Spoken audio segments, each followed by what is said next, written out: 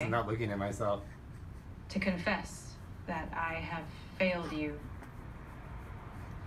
because I lied to you. And in doing so, I broke the covenant.